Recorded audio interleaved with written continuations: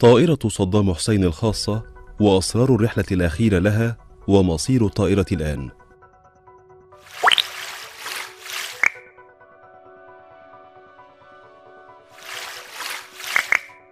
رحل الرئيسان حافظ الأسد وصدام حسين وبقى الطيار العراقي علي الوهابي ليروي هذه القصة مستعيدا بعض ذكرياته عندما كان أحد الطيارين البارزين في الطائرة الخاصة لصدام حسين. ويرويها للمرة الأولى. قبل الدخول في التفاصيل لا تنسى الاشتراك بقناتنا فكرة وتفعيل زر الجرس ليصلك جديدنا.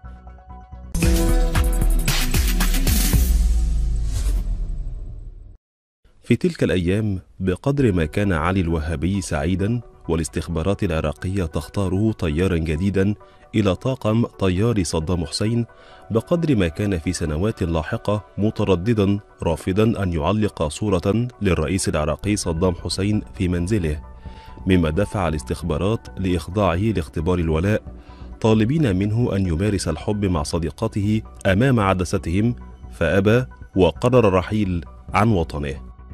وصف طائرة صدام حسين الخاصة.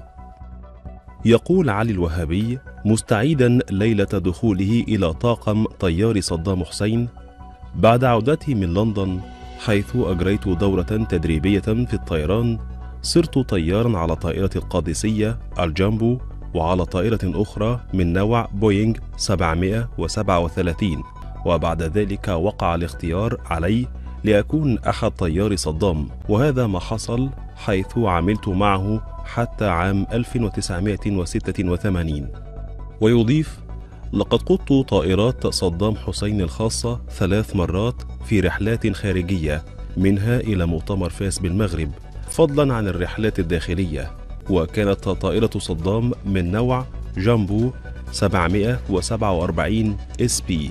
ويصف الطائرة بأنها كانت اعتيادية جدا فأول مدخل الطائرة يلاحظ وجود كرسيين درجة أولى وفيها غرفة للاجتماعات في وسطها ومقاعد عادية في مؤخرة الطائرة للتقنيين ورجال الحماية والطابق الثاني لراحة الطواقم. وفي مقدمة الطائرة غرفة ليست مطرفة للنوم. ويتحدث الطيار علي الوهابي عن صدام كما شاهده في الطائرة ويقول كان يلقي التحية على الطاقم ويشكرنا كثيرا بعد انتهاء أي رحلة. لقد كان لطيفا جدا ومؤدبا.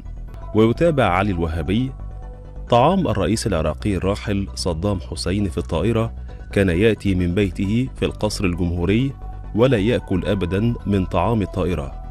وأذكر عندما وصلت طائرة جديدة للعراق من مصانع سياتل صعد صدام للطائرة وصافحنا واحدا تلو الآخر. وأضاف علي الوهابي صدام حسين أحب العراق بطريقته الخاصة ويروي في إحدى الرحلات كان المهندس الجوي برفقة صدام على متن الطائرة وبينما كان صدام يلقي نظرات على بغداد ليلا من نافذة الطائرة قال له المهندس الجوي يا سيدي رئيس بغداد حلوة في الليل. فالتفت صدام ورد عليه بنبرة قوية بغداد حلوة في الليل وفي النهار. وبقى المهندس الجوي قلقا لمدة ثلاثة أيام خوفا من أن يتأذى ولكن لم يقع عليه شيء. وأضاف لقد كنا حذرين جدا أثناء وجود صدام في مقصورة الطائرة لأننا لا نتوقع كيف سيكون رد صدام علينا إذا ما تحدثنا إليه. قصة شراء صدام حسين للطائرة بوينغ 747 SP. وأما للطائرة بوينغ 747 SP قصة أخرى في عالم الطيران يرويها الطيار العراقي ولها مدلولات سياسية تشير إلى عمق الصراع الذي كان آنذاك بين جناحي البعث في كل من العراق وسوريا وانتقال هذا الخلاف والتنافس من الأرض إلى الجو. يقول علي الوهابي سافر صدام حسين إلى مؤتمر عدم الانحياز الذي انعقد في هافانا عام 1979 بطائرة من نوع بوينغ 707 التي كان يجب أن تتزود بالوقود في مدريد. بينما كان الرئيس السوري الراحل حافظ الأسد في طائرته من نوع 747 SP التابعة للخطوط السورية يعود مباشرة من هافانا إلى دمشق فسأل صدام التقنيين حوله. كيف نحن يجب أن ننزل في مدريد لنتزود بالوقود وحافظ الأسد سافر مباشرة من هافانا إلى دمشق بدون أن يتزود بالوقود. فكانت الإجابة أن طائرة الأسد أحدث وتستطيع قطع مسافات طويلة دون أن تتزود بالوقود بسبب كبر الخزانات الخاصة بها. وأضاف الوهابي طلب صدام حسين شراء طائرة خاصة مثل مواصفات الطائرة السورية. واشترينا طائرة من شركة بوينغ وجلبناها من سياتل في أمريكا سنة 1982 وكان قدوم الطائرة يوم الحادي والثلاثين من آب عام 1982 رجال حماية صدام أغبياء.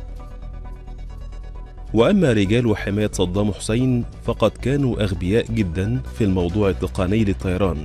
كان يصفهم الطيار علي الوهابي ويوضح كانت خمس طائرات في مطار بغداد والكل يتوقع أن صدام كان في طائرته التي تحضرت للتوجه إلى السعودية. وبعد ذلك علمنا أنه سبقنا بطائرة سعودية. فجاء رجل من رجال الحماية الذين كانوا في الطائرة الواقفة في المطار وأعطانا الأوامر أن ننطلق وقالوا لنا تحركوا. وعندما سألناه أين نذهب قال اتبعوا الطائرات الباقية في المطار. متصورا أننا نطير في الجو ونتبع الطائرات الأخرى دون خطة للطيران. اختبار الولاء. ورغم أنه طيار للرئيس العراقي صدام حسين كان علي الوهابي يرفض وضع صورة صدام في بيته وهي دلالة مدى الولاء له في أعراف النظام آنذاك ويقول كوني كنت طيار صدام فقد كان رجال المخابرات يزورون بيتي بين فترة وأخرى ويسألون لماذا لا أضع صورة؟ وكنت أعدهم بذلك ولم أفعل لأنه في رأيي ولائي لواحد هو رب العالمين. ويضيف كنت في تلك الفترة غير متزوج وعلى علاقة مع إحدى زميلاتي في الخطوط العراقية ولم أكن أعلم أن هذه الزميلة على علاقة مع أحد الدبلوماسيين العرب هناك رغم أنه متزوج.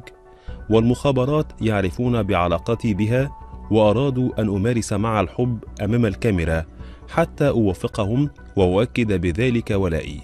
فقلت لهم أعطوني فترة أفكر فأمهلوني أسبوعا وخلالها وأنا أقود رحلة عادية من بغداد إلى لندن بقيت في لندن ولم أرجع إلى وطني. وفي العام 2000 انتقلت إلى أستراليا.